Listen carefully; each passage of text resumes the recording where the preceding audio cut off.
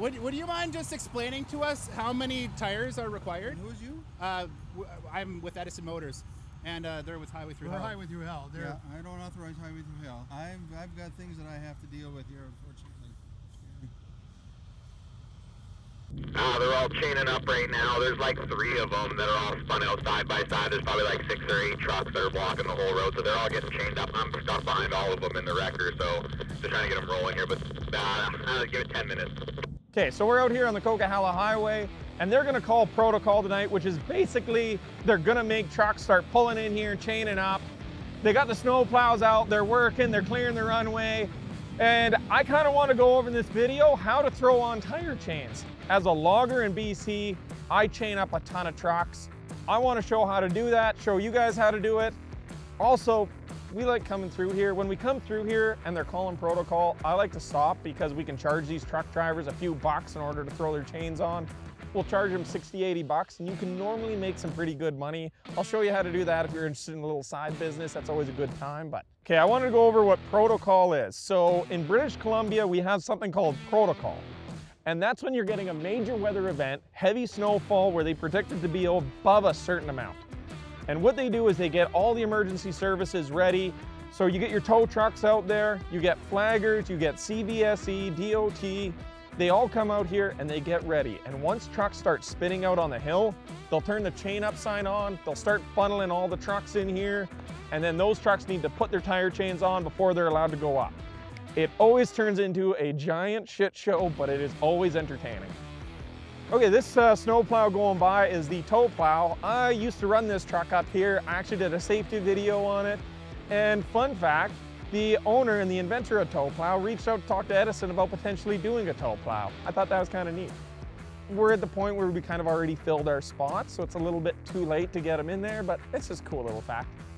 Uh, cool fact about where we are right now, we're right at the heart of that TV show on Discovery, Highway Thru Hell. I was actually on Highway Thru Hell for a season, season nine if you wanted to check it out, but so who knows, we may say some of these guys working tonight. So right here behind me is the snow shed. So basically you leave the chain up area, you come out of the snow shed, and then you just start climbing an 11% grade for three, four kilometers.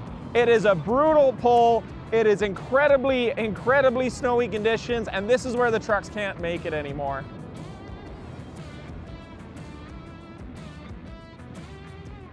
Oh, and fun fact, when the trucks are coming downhill, this is where you see most of the wrecks. Literally, it can be a spectator sport watching semi-trucks wreck. There's a bridge deck that you can kind of see right past that light.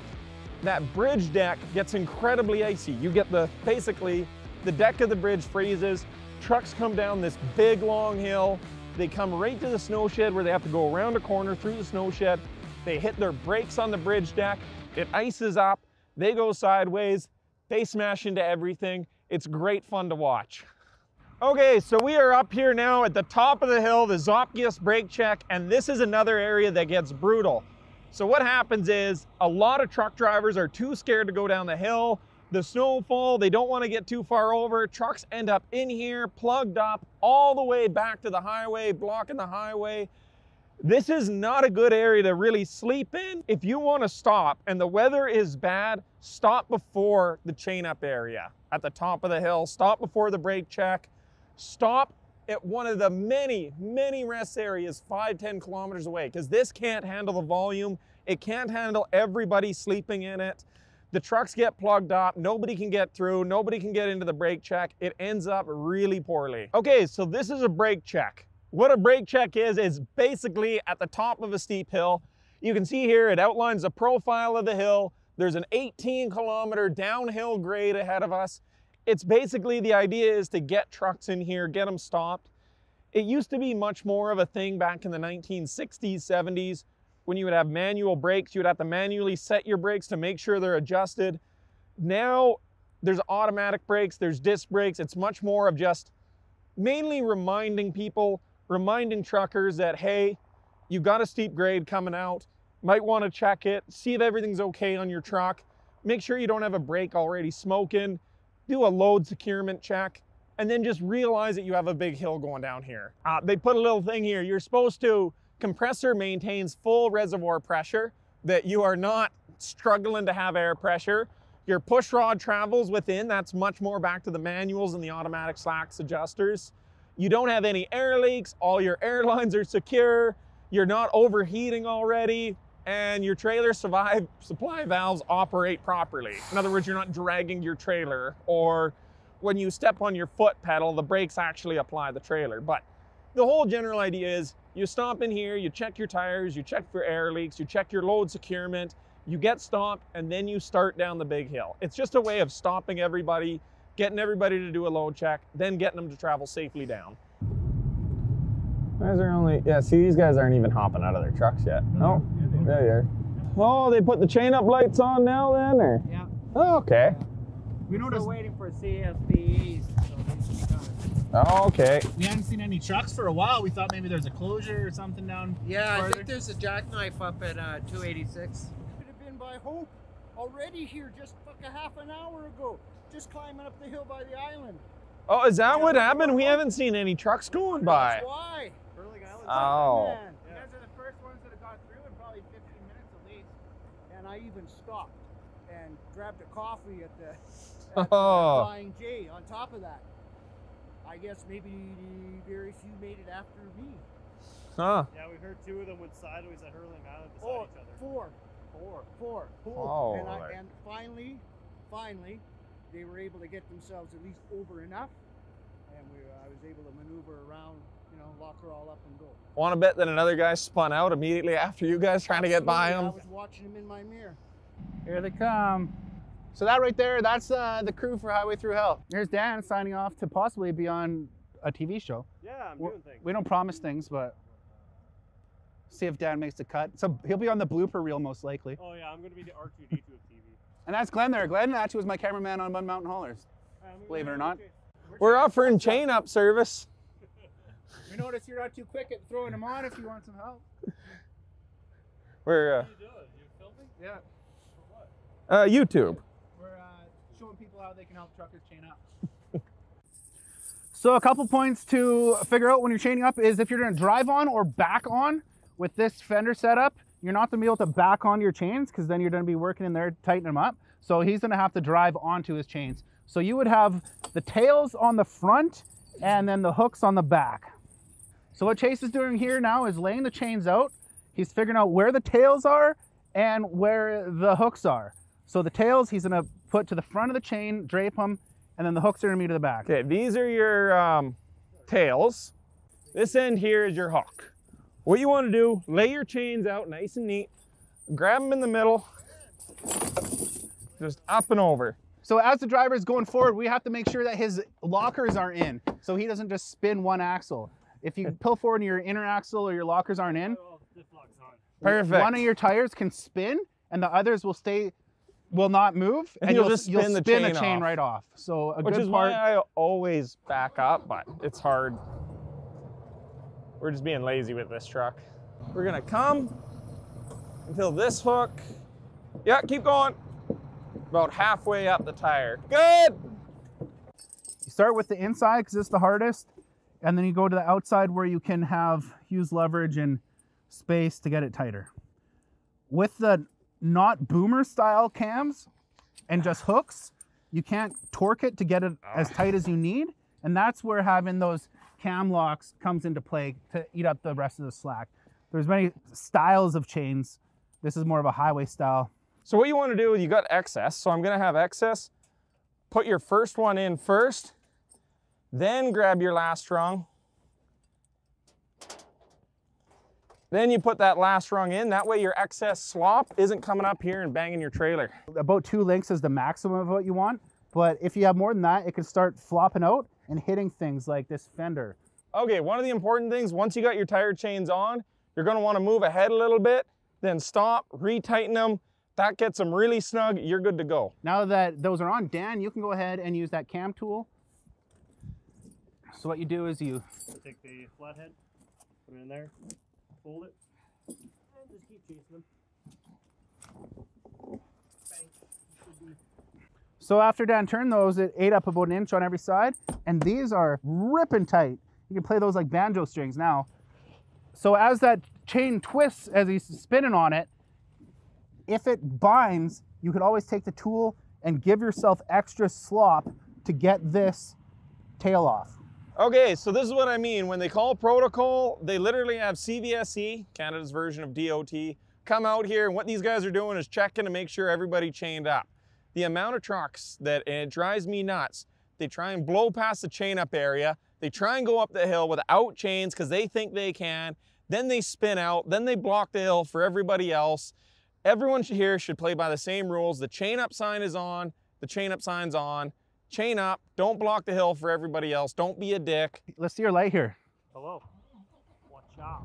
Watch out. Oh, where am I going? Oh, oh, gotcha. Gotcha. Dan's using the night buddy headlamp. Yeah, they're Yeah, good. Okay, a lot of people bring these out. You don't need them. If you chain your tires up properly, you do not need these. I've been logging for 15 years, throwing three sets of chains a day some days. Never had to use these. As long as you do them up properly, you don't need them. The only time you really need those are if your chains are overstretched and blown out.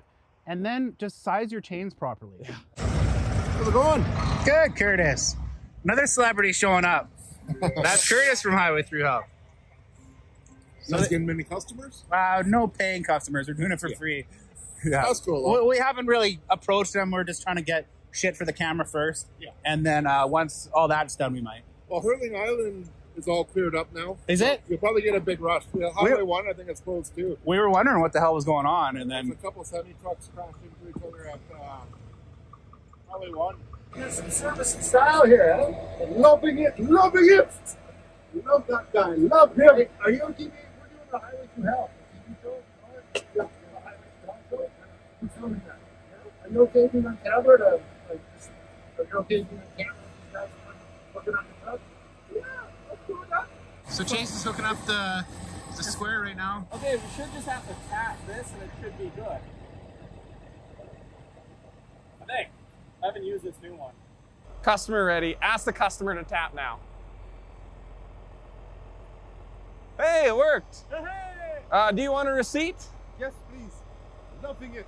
Okay, uh, just enter your email there and we'll send you a receipt. All right, so we use this little mo- mobile payment, so he's able to pay with his credit card right on file, and we can throw the rest of these chains on. That's how you make money doing this. Easy money, easy money. He's happy, we're happy, everyone wins in this. We're already wet, we're already in coveralls. Look at him, he's got nice pants on. Alright. All right, let's have a little look here. Peek at my handiwork. Yeah, let's uh let's move them up just a little more. Just a little more. Lots of room. Want to just tell them hit the park brake? There we go. Never get under until you hear that park and brake set. Oh, it's the goofy style. What did I say? Next time we're doing a style of this, we're charging an extra 20 bucks. we did, we did, technically. So, question When this episode is going to be on? I shoot for we're with Edison Motors. I'm separate. Okay. And you're gonna go on our YouTube channel. It'll Okay. be maybe maybe a week or two. A week or two. And it'll be on Edison Motors YouTube. Okay. Yeah. Where are you going right now? I'm going to um Kelowna. What are you hauling? Um, this is empty. It's empty. What, Yeah. do you, what do you usually haul? What are you gonna go get? Normally, um, we have different type of freight. Um, we normally like we we we pull various things. It, um, it, it's not standard. Have you had the chain up this year before? This is my first time for this year. Yeah. Last year was weekhead, weekhead. Yeah. Yeah, So uh, well, that's good. What do you think about this service, guys? Coming out here to help you. loving it, Right? loving it. That's not bad. I asked the guy, where was he last year? And the year before that, and the year before that. So I'm saying, I, I didn't know that you guys offer this service. All right, here, I'll uh, handle that. You want to go get the next guy? Uh, For me, it's a new experience, but I love the service. I'm just saying, I love the service. I asked him, I, where was he last year? You know? You think, uh, do you think all the break, all the chain up area should have fellas like Of this? course, Of course, what? this service is brilliant. this is this is outstanding. I love it. Seriously, loving it. Oh, thank you. Thanks.